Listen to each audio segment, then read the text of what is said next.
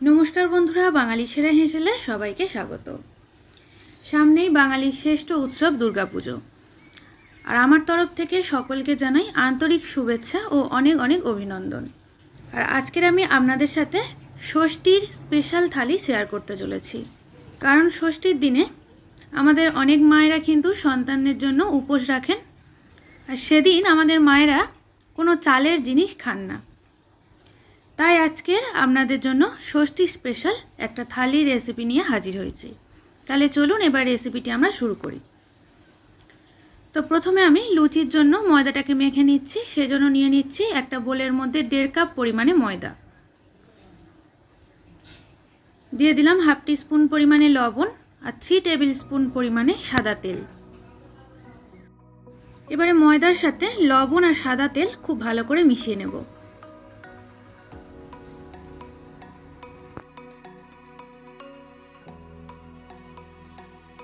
এবারে অল্প অল্প করে জল দিয়ে একটা নরম ডো তৈরি করতে হবে।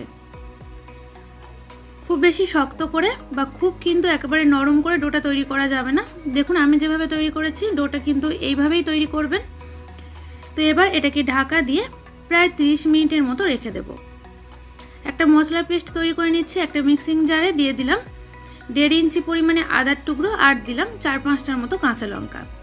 অল্প একটু জল দিয়ে এটাকে আমরা মিহি করে বেটে নেব। মশলার পেস্ট তৈরি করা হয়ে গেছে। এবার সেখান থেকে ওয়ান টেবিল স্পুন পরিমাণে মশলা, একটা অন্য বাটির মধ্যে নিয়ে নিলাম।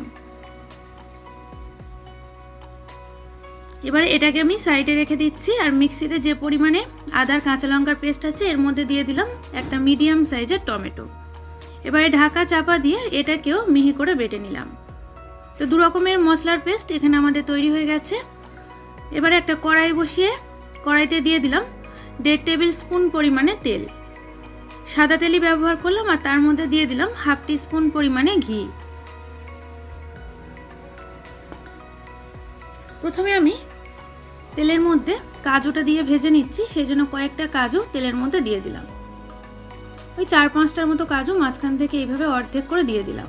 কাজুটাকে হালকা একটু নেড়ে চেড়ে নিয়ে এরই মধ্যে দিয়ে দিলাম কিশমিশ কিশমিশটা দিয়ে আরও বেশ কিছুক্ষণ ভেজে নিলাম। এইরকম যখন হালকা একটা কালার চলে আসবে, তখন এটাকে তুলে নিলাম।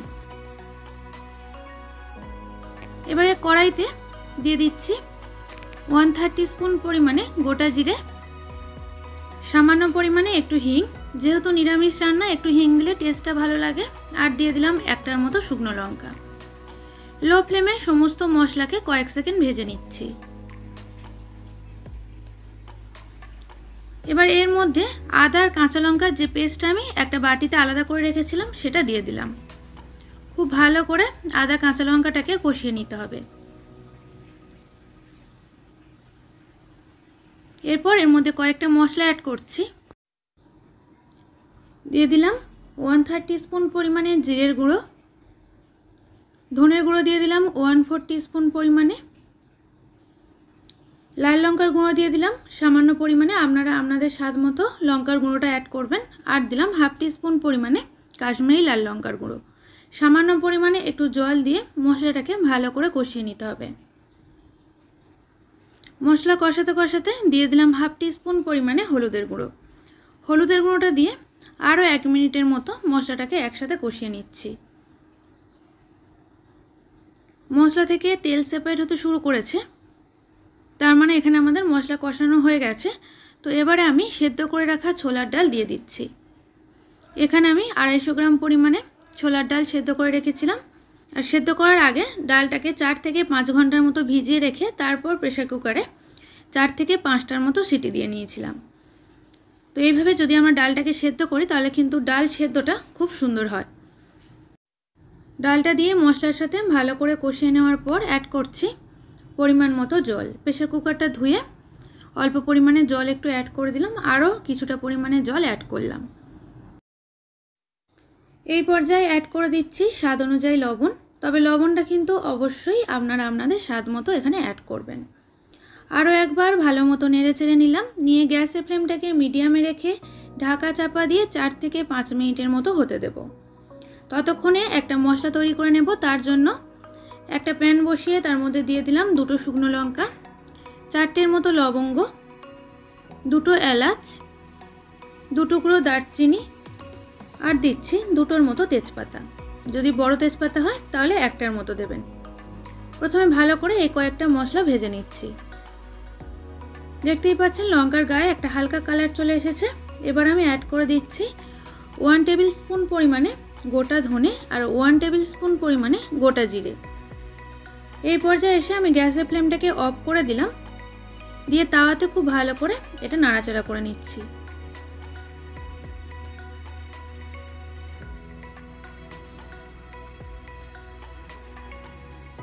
তো এবারে এটাকে ঠান্ডা করে তারপর গুঁড়ো করে নিতে হবে। আর ততক্ষণে এদিকেও প্রায় চার পাঁচ মিনিট হয়ে গেছে, ঢাকনাটা খুলে নিলাম। নিয়ে দিয়ে দিচ্ছি। ওয়ান টিস্পুনের একটু বেশি পরিমাণে চিনি ছোলার ডালে কিন্তু চিনির পরিমাণটা একটু বেশি লাগে, তবে আপনারা আপনাদের স্বাদ মতো অ্যাড করবেন। আর যে মশলাটা আমি গুঁড়ো করে রেখেছিলাম, সেটা দিলাম ওয়ান টিস্পুনের একটু কম পরিমাণে। আর সব শেষে সামান্য একটু ঘি অ্যাড করছি। সব শেষে ঘিটা দিলে ফ্লেভারটা আরও বেশি ভালো লাগবে। তো এবারে সব কিছু একসাথে ভালো করে ডালের সাথে মিশিয়ে নিলাম। আর যে কাজু আর কিশমিশগুলো ভেজে রেখেছিলাম, সেগুলোও শেষে দিয়ে দিলাম। আপনারা চাইলে এই ছোলার ডালে কিন্তু নারকেলও ব্যবহার করতে পারেন। আর যেহেতু অনেকগুলো রেসিপি হাতে খুব বেশি সময়ও ছিল না, তো সেজন্য আমি নারকেলটা ব্যবহার না করে শুধুমাত্র কাজু আর কিশমিশটা ব্যবহার করলাম। তো ছোলার ডাল এখানে আমাদের তৈরি। এবারে বেগুনটা ভেজে নেব, তার জন্য একটা কড়াই বসিয়ে কড়াইতে দিয়ে দিচ্ছি পরিমাণ মতো সর্ষের তেল। সর্ষের তেলে যদি আমরা বেগুন ভাজি, তাহলে কিন্তু বেগুন ভাজার স্বাদই আলাদা হয়। তো তেল খুব ভালো মতো এরকম ধোঁয়া ওটা গরম হয়ে গেলে তবে এখানে বেগুনগুলোকে ছেড়ে দিচ্ছি। আর বেগুনগুলোকে ভালো করে কেটে ধুয়ে নেওয়ার পর লবণ, হলুদ আর লঙ্কার গুঁড়ো মাখিয়ে পাঁচ মিনিটের মতো ম্যারিনেট করে রেখেছিলাম। তো বেগুনটাকে উল্টে পাল্টে খুব ভালো করে ভেজে নিলাম। তো এখানে আমাদের বেগুন ভাজাও তৈরি হয়ে গেছে।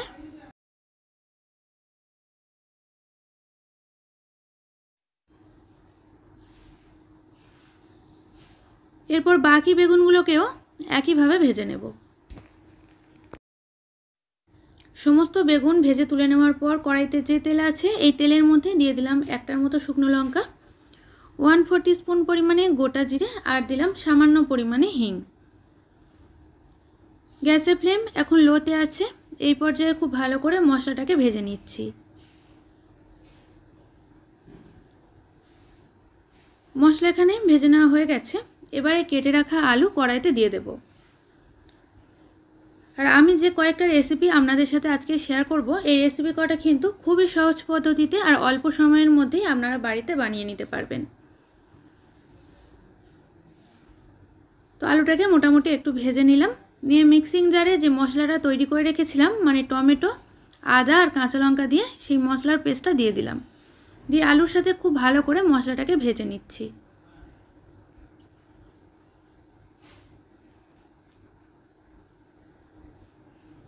এক মিনিটের মতো আলুটাকে মশলার সাথে ভেজে নিয়েই অ্যাড করে দিচ্ছি ভাপিয়ে রাখা ফুলকপি।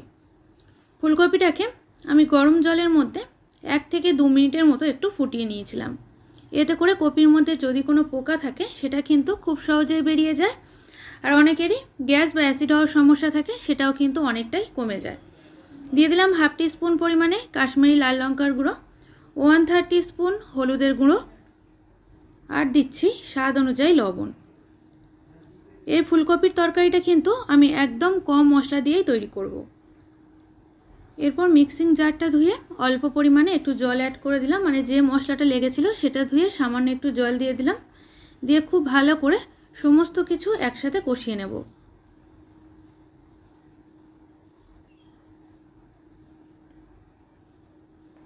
ফুলকপি, আলু একসাথে কষাতে কষাতে যে মশলাটা তৈরি করে রেখেছিলাম, সেটা দিয়ে দিলাম হাফ টিস্পুন পরিমাণে। এই মশলাটা দেওয়ার পর আবারও ফের মিনিট খানেকের মতো কষিয়ে নেব। যেহেতু এখানে ফুলকপিটাকে আলাদা করে আমি ভেজে নিলাম না সেই জন্য ফুলকপিটাকে কিন্তু খুব ভালো করে কষিয়ে নিচ্ছি। তো দেখতেই পাচ্ছেন, কপিটা কিন্তু বেশ ভাজা ভাজা হয়ে গেছে। এবার আমি অ্যাড করে দিচ্ছি পরিমাণ মতো গরম জল। আর সব সময় কিন্তু রান্নায় গরম জল ব্যবহার করবেন, এতে করে রান্নার স্বাদটা আরও অনেকটাই বেড়ে যায়। জলটাকে দিয়ে ভালো করে নেড়েচেড়ে মিশিয়ে নিচ্ছি।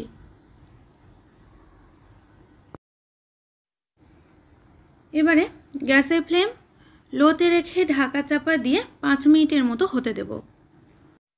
আর ততক্ষণে অন্য একটা কড়াই বসিয়ে কড়াইতে দিয়ে দিচ্ছি টু টেবিল স্পুন পরিমাণে ঘি। তো এখানে আমি সুজির পায়েস তৈরি করে নেব। ঘি ভালো মতো গলে গেছে, গ্যাসের ফ্লেমটাকে একদম লোতে রাখতে হবে, রেখে এর মধ্যে দিয়ে দিলাম কয়েকটা কাজু বাদাম। কাজু বাদামটাকে প্রথমে বেশ ভালো করে ভেজে নিচ্ছি। দেখুন, হালকা একটা কালার চলে এসেছে। এই পর্যায়ে দিয়ে দিচ্ছি এক মুঠো পরিমাণে কিশমিশ। তো কিশমিশটা দেওয়ার পর কাজুর সাথে আরও একবার নেড়ে চেড়ে ভেজে নিচ্ছি। এবার এটাকে একটা আলাদা পাত্রে করে তুলে নেব।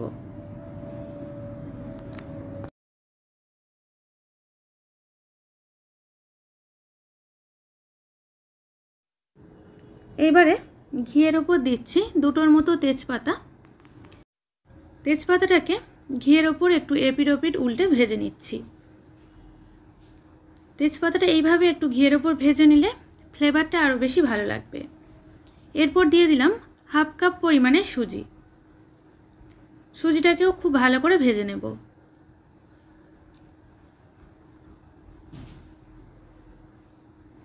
দেখুন সুজির কালার এখানে চেঞ্জ হয়ে গেছে। তো এই পর্যায়ে এসে আমি জাল করে রাখা দুধ এর মধ্যে অ্যাড করে দিচ্ছি। এখানে আমি এক লিটার পরিমাণে দুধ ভালো করে জাল করে নিয়েছিলাম, তো সেটা এবার কড়াইতে দিয়ে দিলাম।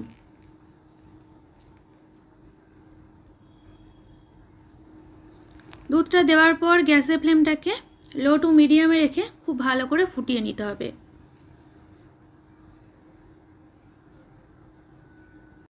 আর ততক্ষণে দেখে নেব আলু ফুলকপির তরকারিটা কতটা হয়েছে। তো পাঁচ মিনিট পর এখানে ঢাকনাটা খুলে নিলাম। দেখে মনে হচ্ছে আলু আর ফুলকপি দুটোই খুব ভালোভাবে সেদ্ধ হয়ে গেছে। আমি দেখিয়ে দিচ্ছি, দেখুন, আলুটা কিন্তু খুব সুন্দরভাবে সেদ্ধ হয়ে গেছে। তো এই পর্যায়ে এসে আমি অ্যাড করে দিচ্ছি হাফ টিস্পুন পরিমাণে চিনি। যেহেতু নিরামিষ রান্না, চিনি দিলে কিন্তু স্বাদটা অবশ্যই ভালো লাগে। তবে আপনারা যদি কেউ চিনিটা এখানে অপছন্দ করেন, তাহলে চিনিটা নাও দিতে পারেন। আর আলু ফুলকপি কষানোর সময় যে মশলাটা আমি দিয়েছিলাম, তার মধ্যেও কিন্তু গরম মশলা ছিল সেই জন্য আলাদা করে আর গরম মশলা কোনো ব্যবহার করার কোনোই প্রয়োজন নেই। দিয়ে দিলাম হাফ স্পুন পরিমাণে ঘি। ঘি দিয়ে ভালো করে নেড়ে চেড়ে আরও একবার মিশিয়ে নেব।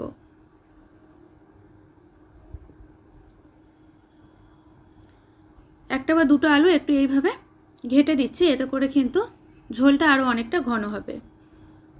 আর দেখুন, ফুলকপিটাও এখানে খুব সুন্দরভাবে সেদ্ধ হয়ে গেছে। তো আর মিনিট খানেক একটু ফুটিয়ে নিয়ে গ্যাসের ফ্লেমটাকে অফ করে দেব। আর এদিকে দেখতেই পাচ্ছেন, সুজিটা অনেকটা ফুলে গেছে, গিয়ে এটা ঘনও হয়ে গেছে। এই পর্যায়ে এখানে আমি অ্যাড করে দিচ্ছি আমুল মিল্ক পাউডার গোলা দুধ।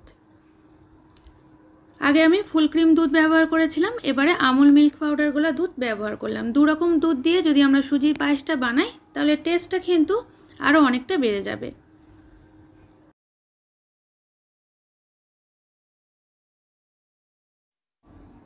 এবারে এসে আমি মিষ্টিটা অ্যাড করব। তার জন্য এখানে আমি অ্যাড করছি প্রথমে পঞ্চাশ গ্রাম পরিমাণে বাতাসা। এই গুড়ের বাতাসা দিয়ে যদি আমরা সুজির পায়েসটা তৈরি করি তাহলে কিন্তু পায়েসের টেস্টটা জাস্ট অসাধারণ লাগবে। আপনারা একবার এইভাবে তৈরি করে দেখবেন, আমি বলছি খেতে কিন্তু ভালোই লাগবে। তো বাতাসাটা দিয়ে দিলাম, দিয়ে এবার আমি অ্যাড করে দিচ্ছি হাফ কাপ পরিমাণে চিনি। চিনি আর বাতাসা এই দুটো উপকরণ দিয়ে যদি যে কোনো পায়েস তৈরি করা যায়, তাহলে কিন্তু পায়েসের টেস্ট অনেক গুণ বেড়ে যায়।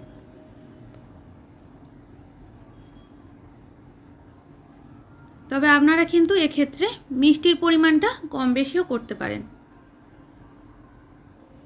যেহেতু সবেমাত্র চিনি আর বাতাসাটা দিলাম, তো সেই জন্য আরও বেশ কিছুক্ষণ এটাকে ফুটিয়ে নেব। দিয়ে দিলাম একটার মতো এলাচ থেঁতো করে। আর একই সঙ্গে ভেজে রাখা কাজু বাদাম আর কিশমিশগুলোও দিয়ে দিলাম। এইভাবে যদি আপনারা বাড়িতে সুজির পায়েস তৈরি করেন, তাহলে বাড়ির সকলেই কিন্তু এটা খেতে খুবই পছন্দ করবে। সামান্য পরিমাণে একটু লবণ অ্যাড করলাম, এতে করে মিষ্টিটা ভালো মতো ব্যালেন্স হয়। তো এখানে আমাদের সুজির পায়েস কিন্তু একেবারে তৈরি হয়ে গেছে। সব শেষে দিয়ে দিচ্ছি ওয়ান টেবিল স্পুন পরিমাণে ঘি।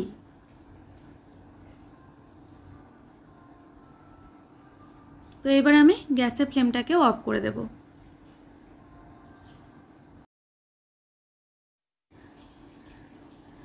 আর সব শেষে এবারে গরম গরম লুচিটা আমরা তৈরি করে নেব। তো লুচিটা তৈরি করার জন্য আগে থেকে কিন্তু আমি ময়দাটা মেখে রেখেছিলাম। তো প্রায় তিরিশ থেকে পঁয়ত্রিশ মিনিটের মতো হয়ে গেছে। এবারে খুব ভালো করে আরও একবার ময়দার ডোটাকে দলে নিচ্ছি।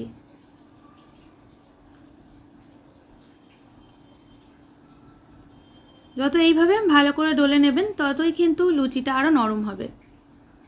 তো হাতের মধ্যে অল্প পরিমাণে একটু সাদা তেল নিয়ে নিলাম। নিয়ে আরও একবার এইভাবে ভালো করে মেখে নিতে হবে। এবারে এটা থেকে কয়েকটা লেচি কেটে নেব।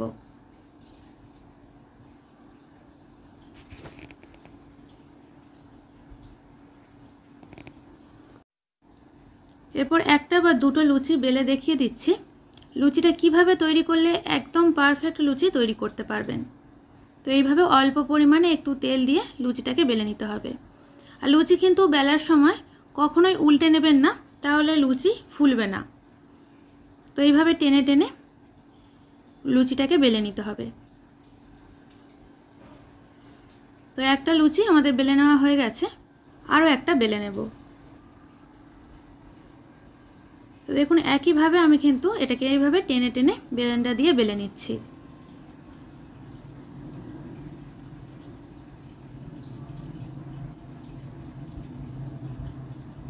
তো লুচিগুলো বেলে নেওয়া হয়ে গেছে। এবার লুচিগুলোকে গরম তেলের মধ্যে ছেড়ে একে একে ভেজে নিচ্ছি। আর এইভাবে যদি আমরা লুচিগুলো বেলে নিই বা মাখার সময় ময়দাটা যদি ঠিকঠাকভাবে মাখা হয়, তাহলে কিন্তু পারফেক্ট ফুলকো ফুলকো লুচি খুব সহজেই তৈরি করতে পারবেন।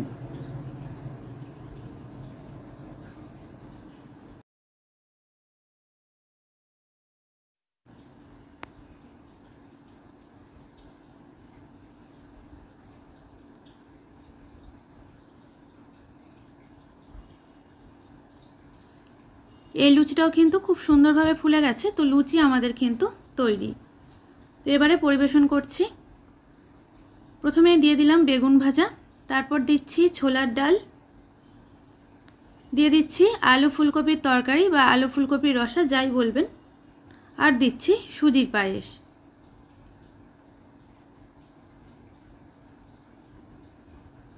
এর সাথে দিয়ে দিলাম দু পিস মিষ্টি। আর আমার আজকের রেসিপি বন্ধুরা, আপনাদের কেমন লাগল অবশ্যই করে কিন্তু জানাবেন। এটা ষষ্ঠীর দিনে বা অষ্টমীর দিনে আপনারা বাড়িতে তৈরি করে নিতে পারেন। খুবই সহজভাবে বানালাম, আর এইভাবে যদি বানানো যায়, তাহলে কিন্তু অল্প সময়ে তৈরি হয়ে যাবে। আর আমার রেসিপি যদি আপনাদের ভালো লেগে থাকে, তাহলে আমার চ্যানেলটি সাবস্ক্রাইব করে পাশে থাকা বেল বাটনটি প্রেস করে দেবেন। আজ তাহলে এই পর্যন্ত, আবারও দেখা হবে নতুন কোনো রেসিপির সাথে। সবাই ভালো থাকবেন, সুস্থ থাকবেন, ধন্যবাদ।